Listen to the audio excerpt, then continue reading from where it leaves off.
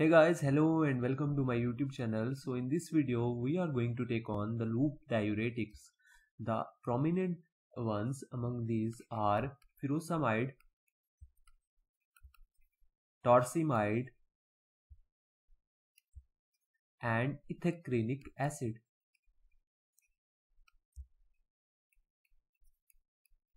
So these are the topmost three loop diuretics which we often use that is furosemide, torsemide and ethacrynic acid.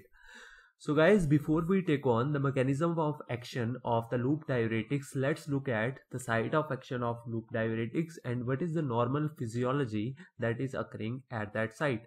So the site of action of the loop diuretics is the thick ascending limb of the loop of Henle and if we look at the normal physiology of the thick ascending limb of the loop of Henle, what happens over there is that First of all, on the basolateral side, there is an ATP dependent transport mechanism which pumps all the sodium out of the cell. So as a result of this, the sodium gradient is created across the luminal membrane.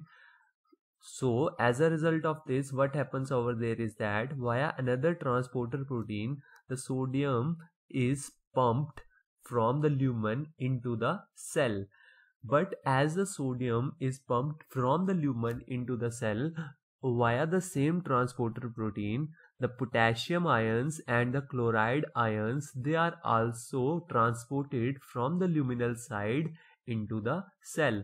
Now the sodium which enters into the cell via the same pump, the sodium will be pumped into the basolateral membrane basolateral side and will later be reabsorbed into the blood.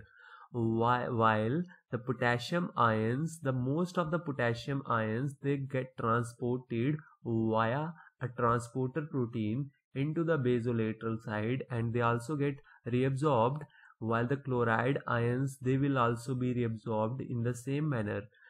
But the potassium within the cell since it is high some of the potassium will diffuse back into the lumen via utilizing another transport protein. So as a result of this all the ions which were reabsorbed of those ions some amount of potassium will diffuse back into the lumen and as the potassium diffuses into the lumen it increases the positive potential within the lumen. And as a result of this positive potential the positive ions that are the anions like calcium and magnesium they are pushed across they are pushed across the cell they are pushed across the cells via a paracellular pathway and they also get reabsorbed into the blood so this is all about the normal physiology which is occurring in the thick ascending limb of the loop of Henle. But when we give the loop diuretics like furosemide, torsemide and ethacrynic acid, what do they do is that they block this pump. So as a result of the blockade of the transporter, there will be no reabsorption of sodium, potassium and the chloride ions and they will be present in the lumen and will be excreted out. So as we already know when the sodium and potassium and other ions are excreted out the water will also follow these ions and water will also will also be not reabsorbed into the blood. So as a result of this there will occur the diuresis. So this is how the loop diuretics like furosemide or semide cause the diuresis. Also another important point to remember is that when we use these loop diuretics they will also cause the excretion of anions like calcium and magnesium because when the pump will not work the potassium will not be able to enter into the cell. So as a result of this the potassium will not be able to diffuse back and create a positive potential. So there will be no reabsorption of anions like calcium and magnesium. So along with the diuresis they will also cause the loss of anions like calcium and magnesium.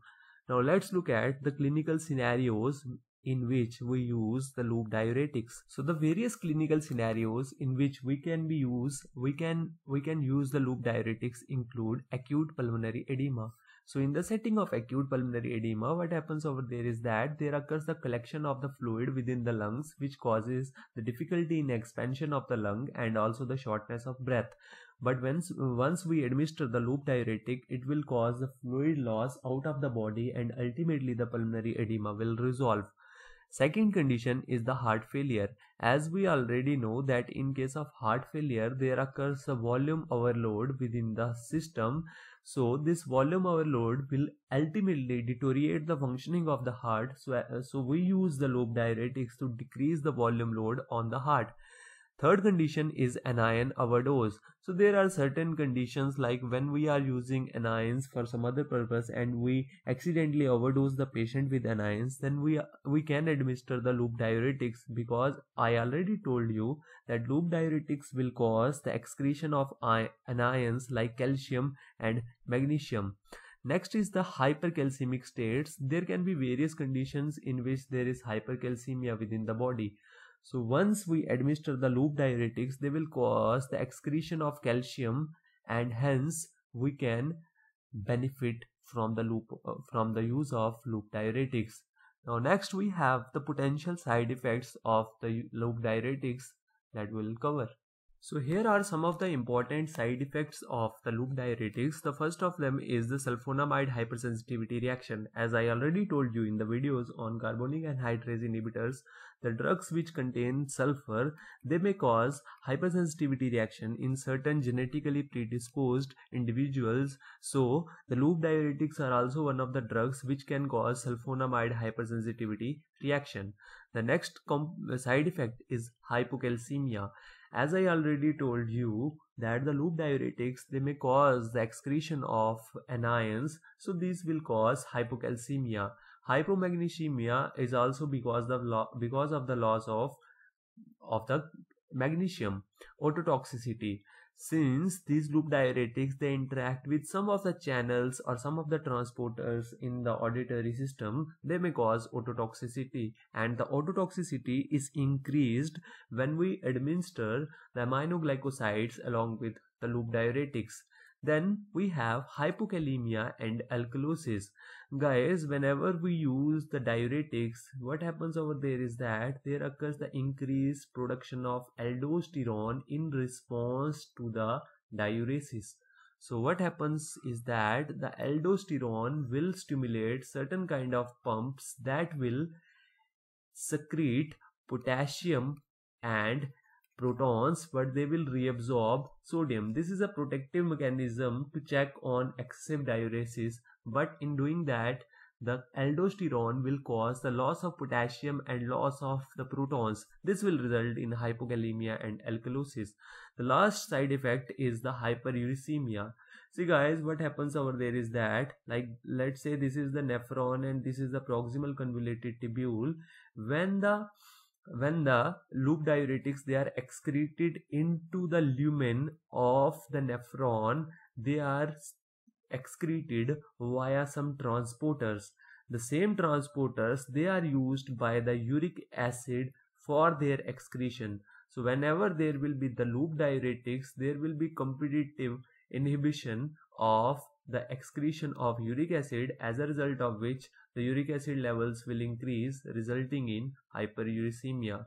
So this is all about the loop diuretics, their mechanism of action and also the side effects of the loop diuretics. If you have watched my video up to this point, please subscribe to my YouTube channel. Thank you so much.